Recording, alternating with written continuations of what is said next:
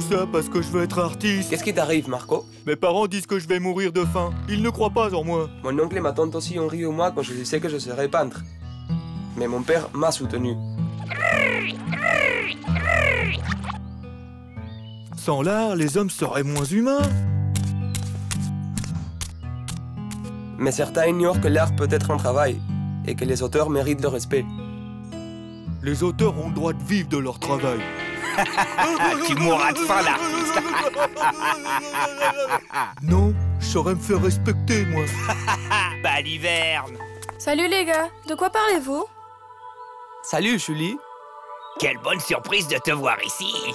Un artiste peut-il vivre de son art? Bien sûr, grâce au droit d'auteur. Qu'est-ce que c'est que ça? Bon, supposons tu es dans la rue et tu vois une voiture qui te plaît. As-tu le droit de la prendre? Oui, si elle est à moi ou si le propriétaire me la prête. Exact, car les choses ont des propriétaires, pas vrai? Si tu écris un livre ou une chanson, qui es-tu? L'auteur? Oui, l'auteur est le propriétaire de son œuvre car il l'a créée. Pour la faire, il a investi son temps, ses efforts, son talent et même parfois son argent.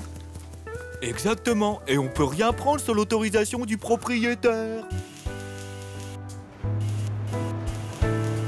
Seul auteur peut disposer de son œuvre, la vendre, la louer ou en autoriser la reproduction. Donc, si je crée une œuvre, je peux gagner de l'argent, comme avec une auto ou une maison. La différence, c'est qu'une maison ou une auto sont des biens que tu peux toucher. C'est-à-dire des biens matériels. Mais une chanson, un poème, un roman, une danse, etc. sont des créations intellectuelles qu'on ne peut pas toucher. Les créations intellectuelles sont des biens intellectuels. Tout bien, matériel ou intellectuel, a un propriétaire et il faut respecter cela. Comment sais-tu tout ça, toi? Au bureau du droit d'auteur, on m'a donné cette brochure. Oh C'est sur le droit d'auteur. Nous avons déjà vu l'essentiel. 1. La créativité. Sans créativité, le monde ne tournerait pas. 2.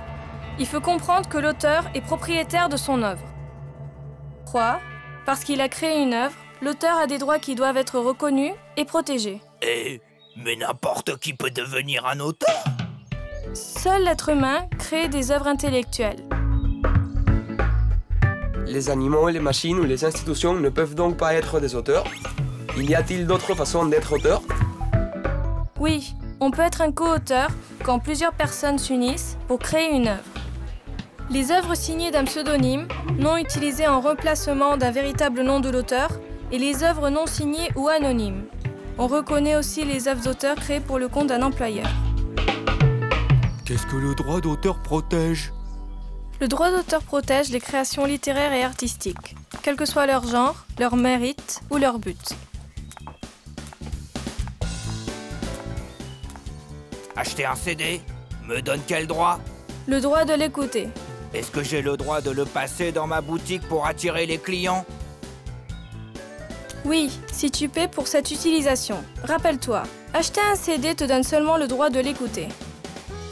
Et si les œuvres sont des biens, on peut en hériter? Bien sûr, le droit d'auteur couvre la vie de l'auteur et 50 ans après sa mort, il y a des pays où ce délai va jusqu'à 70 ans. Et après ce délai? N'importe qui peut utiliser l'œuvre ou la reproduire. Et si quelqu'un prétend que c'est son œuvre? C'est illégal.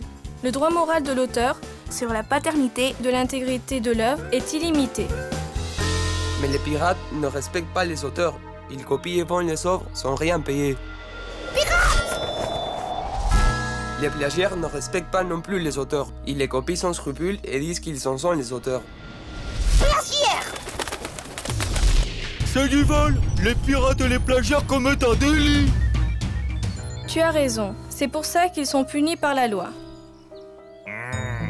Le professeur d'histoire de l'art utilise dans sa classe les œuvres de plusieurs auteurs.